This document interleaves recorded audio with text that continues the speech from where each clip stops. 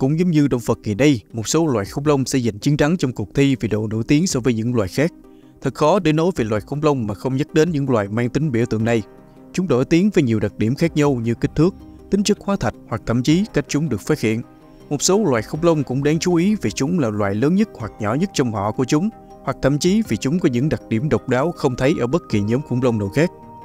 Mức độ phổ biến của khủng long cũng có thể phụ thuộc vào tần suất được miêu tả trong phim hoặc các tài liệu, văn hóa đại chúng khác cũng như tầm quan trọng của chúng đối với nghiên cứu khoa học. Bất kể lý do khiến chúng nổi tiếng là gì, có thể bạn đã từng nghe đến tên các loài khủng long trong danh sách này vào một thời điểm nào đó trong quá khứ. Trong video ngày hôm nay, chúng ta sẽ điểm qua 23 loài khủng long nổi tiếng nhất từng được phát hiện và giải thích một số yếu tố khiến chúng trở thành sao hạng A của giới khủng long nhé. Đây là theo ý kiến riêng cá nhân của mình, chứ không phải xếp hạng mong các bạn lưu ý.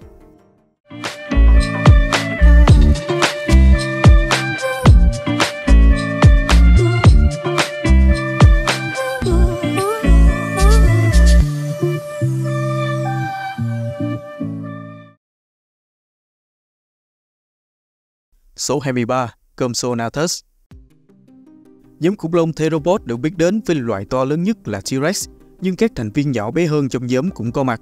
Compsognathus là một loài khủng long ăn thịt nhỏ sống vào cuối kỷ Jura, khoảng 150 triệu năm trước. Compsognathus từng giữ danh hiệu loài khủng long nhỏ nhất từng được phát hiện, cho đến khi những loài khủng long nhỏ hơn được phát hiện vào những năm 1990. Nó có kích thước tương đương với một con gà Tây, với thân hình mảnh khảnh và tứ chi nhanh nhẹn, Compsognathus là loài săn mồi cơ hội, có khả năng ăn động vật có xương sống nhỏ và côn trùng. Số 22. Iguanodon Iguanodon là một loài khủng long ăn cỏ sống vào thời kỳ đầu của kỷ phấn trắng. Hóa thạch của nó được phát hiện lần đầu tiên ở châu Âu vào năm 1825, khiến nó trở thành một trong những loài khủng long đầu tiên được phát hiện. Iguanodon là loài khủng long bốn chân, nhưng nó có thể di chuyển ở tư thế hai chân khi cần thiết. Iguanodon là một con khủng long khá cồng kềnh, mặc dù có kích thước tương đương với một con voi châu Phi, nhưng các chuyên gia ước tính trọng lượng của nó nặng gấp đôi một con voi. Số 21. Deinonychus Deinonychus sống ở Bắc Mỹ vào thời kỳ đầu của kỳ phấn trắng, là họ hàng lớn hơn nhiều của loại Velociraptor nổi tiếng. Loạt khủng long chân thú cỡ trung bình này nổi tiếng vì những bóng phúc công và sắc nhọn. Nó có thể dùng để săn mồi. Dinodicus là một kẻ săn mồi nhanh nhẹn và thông minh. Việc phát hiện ra loài khủng long này đã thay đổi quan điểm của chúng ta về khủng long là một loài động vật nhanh nhẹn, năng động thay vì những con thú chậm chạp, ị ạch. Số 20. Megalosaurus Megalosaurus là một trong những loài khủng long đầu tiên được phát hiện và mô tả. Khi cái tên khủng long được đặt ra vào năm 1842, Megalosaurus là một trong ba chi được đặt tên theo mô tả về nhóm khủng long mới thành lập. Megalosaurus cũng là một loài khủng long chân thú sống vào thời kỳ giữa kỷ Jura. Hóa thạch của nó đã được tìm thấy ở châu Âu, đặc biệt là ở Anh, nơi loài khủng long ăn thịt dài khoảng 6 mét thống trị cảnh quan trên cạn khoảng 166 đến 164 triệu năm trước. Số 19. Casmosaurus Casmosaurus lấy tên của nó để đặt cho toàn bộ dòng khủng long được gọi là Ceratopsian Casmosaurini. Giống như Casmosaurus, các thành viên khác trong phân họ khủng long có diệm này đều biết đến với sừng chén lớn. Diệm xếp nếp lớn ở sừng mũi nhỏ hơn so với sừng mũi lớn hơn của họ hàng của chúng. Casmosaurus có một đường diệm đặc biệt ở phía sau đầu, với một lỗ lớn ở giữa. Tên của loài khủng long này có nghĩa là thằng lằn có khoảng trống, ám chỉ đến lỗ mở lớn này. Số 18. Brachycephalosaurus Brachycephalosaurus là loài khủng long cỡ trung bình nổi tiếng với hộp sọ dày, đặc trưng bởi mái vòm xương lớn. Phần đỉnh của mái vòm này dày tới 25cm, đủ để bảo vệ não của loài khủng long này một cách an toàn. Loài khủng long ăn cỏ này sống ở Bắc Mỹ vào cuối kỳ phấn trắng. Brachycephalosaurus thiếu sừng nổi bật. Tuy nhiên, các thành viên của chi này có thể cạnh tranh với nhau để giành bản tin và lãnh thổ bằng cách hút đầu vào nhau, một hành vi độc đáo ở các loài khủng long. Số 17. Microraptor Microraptor là một trong những loài khủng long nhỏ nhất từng được phát hiện. Loài khủng long nhỏ có lông này sống ở châu Á trong thời kỳ đầu của kỷ phân trắng. Nó chỉ dài khoảng 77 cm, với sải cánh khoảng 88 đến 94 cm và nặng chỉ 500 g.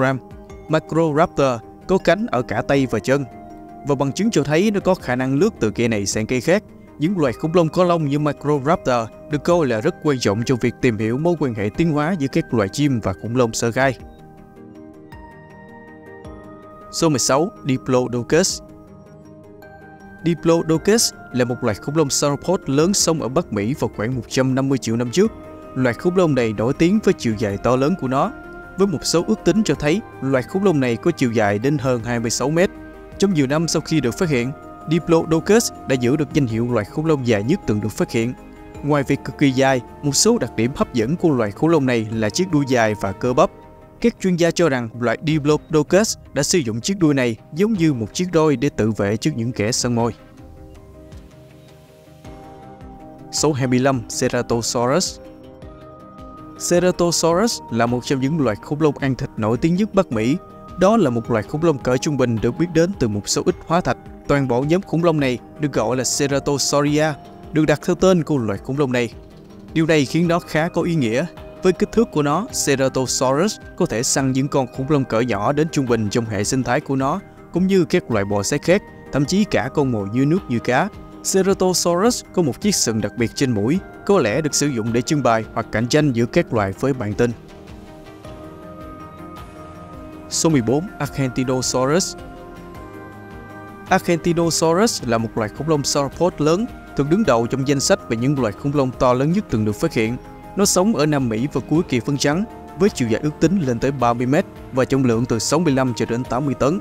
Argentinosaurus là loài khủng long lớn nhất trên lục địa Nam Mỹ và là một trong những loài khủng long lớn nhất mọi thời đại. Kích thước này cũng khiến Argentinosaurus trở thành một trong những loài động vật trên cạn lớn nhất từng xuất hiện. Số 13. Dilophosaurus Dilophosaurus nổi tiếng từ các bộ phim công viên kỷ Jura với tư cách là một loài khủng long có điểm cổ có thể kéo dài, có khả năng phun độc độc để làm tê liệt con mồi. Nhưng loài khủng long này không có những đặc tính này ngoài đời thực. Đó là một con khủng long theropod thông thường dài khoảng 7 mét với trọng lượng khoảng 400 kg.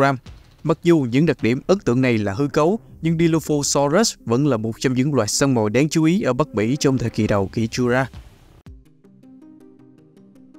Số 12.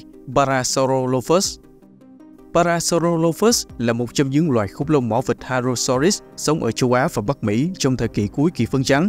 Đặc điểm đặc biệt nhất của loài khủng long này là một chiếc mào phức tạp, kéo dài từ mõm và cong về phía sau đầu. Chức năng màu phức tạp này của Parasaurolophus vẫn là chủ đề gây tranh cãi và góp phần tạo nên sự phổ biến của loài khủng long này. Nó có thể đã được sử dụng để liên lạc, nhưng với các lý thuyết khác, chẳng hạn như nhận dạng loài hoặc điều chỉnh nhiệt đã được đề xuất. Số 11. Carnotaurus Carnotaurus là một loài khủng long chân thú sống ở Nam Mỹ vào cuối kỳ phân trắng. Mặc dù nó có hình dạng điển hình của bất kỳ loài khủng long chân thú nào khác, nhưng điều khiến Carnotaurus trở nên nổi tiếng là hình chiếu giống như sừng đặc biệt trên đầu của nó. Đặc điểm này không thấy ở bất kỳ loài khủng long chân thú nào khác. Cho đến nay chỉ có một hóa thạch Carnotaurus được tìm thấy. Tuy nhiên nó là một trong những loài khủng long nổi tiếng nhất ở Nam Mỹ vì hóa thạch tương đối nguyên vẹn và được bảo quản tốt. Số 10. Oviraptor Nếu nổi tiếng về những lý do sai lầm là một con khủng long thì đó sẽ là Oviraptor. Loài khủng long có lông vũ này được mệnh danh là kẻ chậm chứng khi lần đầu tiên được phát hiện cùng với một tổ khủng long vào năm 1923. Tuy nhiên, những khám phá gần đây hơn cho thấy rằng Oviraptor không phải là kẻ phá tổ, mà là cha mẹ chăm sóc đã chết trong khi bảo vệ trứng của nó. Nó thường được coi là một trong những ví dụ điển hình nhất về sự chăm sóc của cha mẹ ở khủng long. Oviraptor sống ở châu Á vào cuối kỳ phân trắng. Số 9. Ankylosaurus Ankylosaurus nổi tiếng là một trong những loài khủng long có bộ giáp dày nhất. Con khủng long này dài 8 mét và thường được gọi là một chiếc xe tăng với các hàng đĩa xương osteodum xếp dọc theo lưng. Ankylosaurus cũng có một cái đuôi hình chùy nặng nề mà nó có thể vung về phía kẻ thù để chống lại một cuộc tấn công. Ankylosaurus sống vào thời kỳ cuối của kỷ phấn trắng khoảng 68 triệu năm trước. Nó là một loài động vật có các hàng răng hình chiếc lá lót trong hàm, có tác dụng xử lý nguyên liệu thực vật cứng Số 8. Stegosaurus Stegosaurus là một trong những loài khủng long dễ nhận biết nhất, được biết đến với hai hàng đĩa xương lớn đặc biệt được sắp xếp dọc theo lưng. Nó cũng có những chiếc gai nhọn ở đuôi, được gọi là Thagomizer. Bất chấp vẻ ngoài hung dữ của loài khủng long này, Stegosaurus giống như nhiều loài khủng long bọc thép khác, là một trong những động vật ăn cỏ hiền lành. Cho đến đây, có tới 80 bộ hóa thạch Stegosaurus đã được tìm thấy. Điều đó có nghĩa là nó khá nổi tiếng trong thế giới cổ sinh vật học Hầu hết hóa thạch Stegosaurus được phát hiện ở Bắc Mỹ, một số ít tìm thấy ở châu Âu. Số 7. Brachiosaurus Brachiosaurus là một loài khủng long chân thằn lằn thuộc kỷ Jura muộn, nổi tiếng với kích thước khổng lồ. Khi hóa thạch của loài khủng long này lần đầu tiên được phát hiện vào những năm 1900, nó được tuyên bố là hóa thạch khủng long lớn nhất từ trước đến nay. Brachiosaurus sống ở Bắc Mỹ và là một trong những loài khủng long lớn nhất trên lục địa này khoảng 150 triệu năm trước. Trong khi nhiều hóa thạch khủng long lớn hơn một chút đã được tìm thấy kể từ đó, Brachiosaurus vẫn là một trong những loài khủng long cao nhất từng được phát hiện với chiều cao khoảng 13 mét. Số 6. Allosaurus Allosaurus là loài săn mồi hung dữ thống trị hệ sinh thái kỷ Jura muộn ở phía tây Bắc Mỹ, được phát hiện trong cuộc chiến tranh xương nổi tiếng của Mỹ. Allosaurus là một trong những loài khủng long theropod nổi tiếng đầu tiên nhờ có rất nhiều hóa thạch từ thành hệ Morrison. Có nhiều bằng chứng cho thấy Allosaurus đã săn nhiều loài khủng long ăn cỏ lớn khác nhau và có thể đã săn những loài săn mồi khác trong hệ sinh thái của nó. Số 5. Velociraptor Velociraptor nổi tiếng và xuất hiện trong bộ phim Công viên Kỷ Jura, nơi nó được miêu tả là một thợ săn nhanh nhẹn và thông minh. Nhưng Velociraptor trong công viên Kỷ Jura là một phiên bản phóng đại của phiên bản thật. Có nghĩa là phiên bản của loài săn mồi mà chúng ta quen thuộc này hoàn toàn không có thật. Velociraptor thực sự là một loài động vật ăn thịt có lông dài trung bình khoảng 1,5 đến 2 mét và nặng khoảng 14 đến 19 kg. Nó có thể có móng vuốt hành lưỡi liềm mở rộng. Điều này sẽ khiến nó có vẻ ngoài đáng sợ không kém. Số 4. Triceratops Ngay cả khi bạn không biết nó được gọi là gì, mọi người đều quen thuộc với loài khủng long khổng lồ có hình dáng giống như một con tê giác với cặp sừng khổng lồ ở mặt và diềm xếp nếp lớn ở phía sau đầu. Có rất nhiều loài khủng long phù hợp với mô tả đó, nhưng Triceratops là một ví dụ nổi tiếng nhất và được dùng làm đại diện cho toàn bộ nhóm. Đúng như tên gọi Triceratops có 3 sừng trên khuôn mặt, hai cái ở trên lông mày và một cái ở mõm. Nó là một loài động vật ăn cỏ ghê gớm sống ở Bắc Mỹ vào cuối kỳ phân trắng. Số 3. Giganotosaurus Đúng như tên gọi, Giganotosaurus là một trong những loài khủng long ăn thịt lớn nhất từng được phát hiện. Nó sống ở Nam Mỹ vào cuối kỳ phân trắng và có lẽ là loài khủng long ăn thịt lớn nhất trên lục địa này khoảng 99 triệu năm trước. Giganotosaurus là loài săn mồi đỉnh cao trong hệ sinh thái của nó, sống cùng với một số loài khủng long lớn nhất từng tồn tại trên hành tinh Điều này có nghĩa nó phải săn những con mồi lớn như sauropod khổng lồ để tồn tại. Số 2. Spinosaurus Spinosaurus là một loài khủng long ăn thịt khổng lồ và hiện đang là một trong những loài khủng long ăn thịt lớn nhất từng tồn tại và cũng là một loài khủng long bị nếp nhiều nhất qua từng năm. Nó sống ở bờ biển Bắc Phi và cuối kỳ phân trắng. Spinosaurus nổi tiếng với cấu trúc giống cánh buồm khổng lồ trên lưng và hộp sọ giống cá sấu, các chuyên gia cho rằng loài khủng long này đã thích nghi với lối sống bán thủy sinh và có thể săn cá thay vì con mồi trên cạn.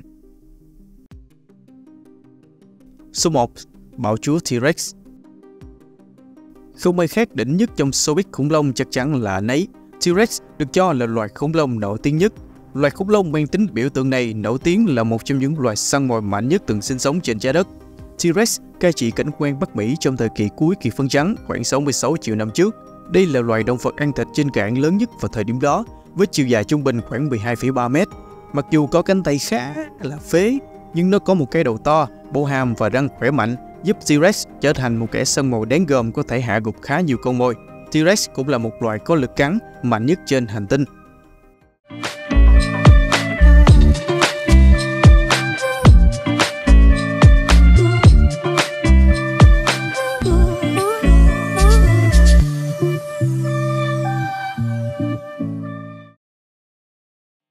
Vừa rồi là 23 loài khủng long nổi tiếng nhất theo ý kiến cá nhân của mình. Danh sách khủng long nổi tiếng theo ý kiến cá nhân của các bạn là gì? Hãy bình luận bên dưới cho anh em Wontrack sẽ biết nhé.